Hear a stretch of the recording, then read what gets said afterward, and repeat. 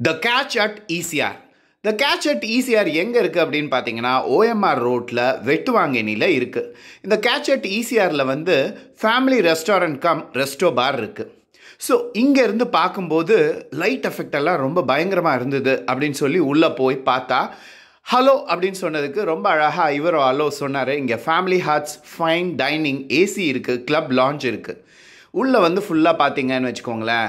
அங்கங்கே வந்து நம்ம மரங்கள் நிறையவே இருக்குது அது மட்டும் இல்லாமல் டிம் லைட்டில் நமக்கு வந்து ஃபுட் அதாவது நிலா வெளிச்சத்தில் சோறு அப்படின்றத நம்ம கேள்விப்பட்டிருக்கோம். ஆனால் இங்கே வந்து பார்த்திங்கன்னா டிம் லைட்டில் வந்து நமக்கு வந்து சர்வ் பண்ணுவாங்க.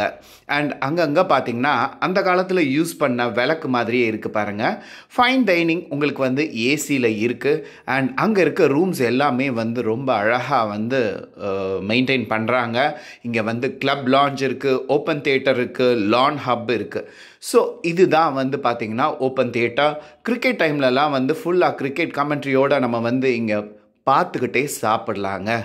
இது வந்து கொஞ்சம் அந்த காலத்து ஸ்டைல் கொண்டு வரணுன்றதுக்காக ராக்ஸ் அண்ட் சின்ன பாண்டில் ஃபிஷ்ஷஸ் இருக்குது இது பார்க்கும்போதே நமக்கு வந்து ரொம்ப ப்ளசண்ட்டாக இருக்குது and discotheque music and lights இருக்குது இங்கே மியூசிக் போட போட நீங்கள் ஆடலாம். க்ளப் லான்ச் இங்கே வந்து ஒரு சில விஷயங்களை இவங்க ஃபாலோ பண்ணுறாங்க அதை தாண்டி நம்ம உள்ள தேவையில்லாத விஷயங்களை யூஸ் பண்ணக்கூடாது. ஸோ உள்ளே நீங்கள் பார்த்தீங்கன்னா நல்ல ஒரு டிஃப்ரெண்ட்டான ஒரு எப்படி சொல்கிறதுனா ரொம்ப அழகான ஒரு பேக்ரவுண்ட் அண்ட் நீங்கள் அங்கே பார்த்தீங்கன்னா கவ்பாய் அந்த டிசைன்ஸ்லாம் நல்லாயிருக்கும். இடமே ரொம்ப ப்ளசண்ட்டாக இருக்கும் பீஸ்ஃபுல்லாக இருக்கும். நம்மளால் வந்து நல்லா இது பண்ண முடியும். கான்சென்ட்ரேட் பண்ணி சில பேருக்கெல்லாம் ட்ரிங்கிங் ஹேபிட் இருக்குது அப்படின்னு பார்த்தீங்கன்னா அவங்கெல்லாம் ரொம்ப அமைதியான இடத்த தான் விரும்புவாங்க. ஸோ அப்படிப்பட்ட ஒரு இடமாவும் இது இருக்குது ஸோ ஃபேமிலிக்கு ஃபேமிலியும் என்ஜாய் பண்ணலாம் பேச்சுலர்ஸ்க்கு பேச்சுலர்ஸும் என்ஜாய் பண்ணலாம். இது மாதிரி நிறைய விஷயங்கள் அங்கே வந்து இருக்குது ஸோ இவர் தான் வந்து மியூசிக் போட்டு எல்லாரையும் கலகலப்பாக வச்சுருக்கக்கூடிய ஒரு நபர். ஸோ இவர் வந்து அங்கே வந்து அவரோட இஷ்டத்துக்கு நல்ல மியூசிக் போட்டு ஹைப்பாக வந்து அந்த ரெஸ்டாரண்ட்டை மெயின்டைன் பண்ணுறாரு நமக்கு வந்து ஆம்பியன்ஸ் ரொம்பவே அழகாக இருக்குங்க. அந்த லைட்ஸ் ஆகட்டும் நம்ம பார்க்குற விதங்கள் எல்லாமே ரொம்ப நல்லா இருக்குது ப்ளசண்ட்டாக இருக்குது டிஃப்ரெண்ட் டிஃப்ரெண்ட் லைட்ஸ் நம்ம பார்க்க முடியாத லைட்ஸ் எல்லாம் நம்மளால் இங்கே பார்க்க முடியுது.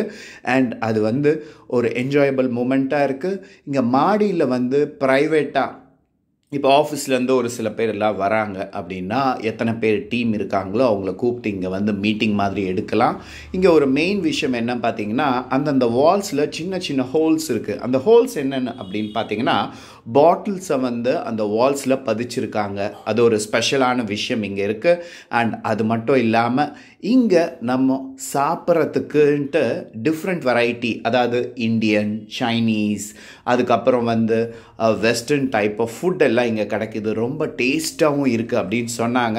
நான் பேசிக்கலி வெஜிடேரியன் அப்படின்றனால நான் ரெண்டு விஷயம் ஆர்டர் பண்ணியிருந்தேன். ஸோ அந்த ரெண்டு விஷயங்கள் வரத்துக்கு முன்னாடி ஒரு சின்ன வீடியோ லாக் எடுத்து போடலாம். நம்மளை மாதிரி நம்ம பார்க்குறவங்கள ஹாப்பியாக இருக்கணும் அப்படின்னு சொல்லி நான் ஆர்டர் பண்ணது paneer fry and vegetable soup ரொம்ப டேஸ்ட்டாக இருந்தது. இப்போ கூட நினச்சா அந்த டேஸ்ட் ரொம்ப நல்லாயிருக்கு நம்ம வீடியோ பிடிச்சிருந்தா லைக் பண்ணுங்கள் ஷேர் பண்ணுங்கள் கமெண்ட் பண்ணுங்கள் நீங்களும் உங்கள் ஃப்ரெண்ட்ஸோட இந்த ரெஸ்டாரண்ட் போய் என்ஜாய் பண்ணுங்கள் நன்றி. வணக்கம்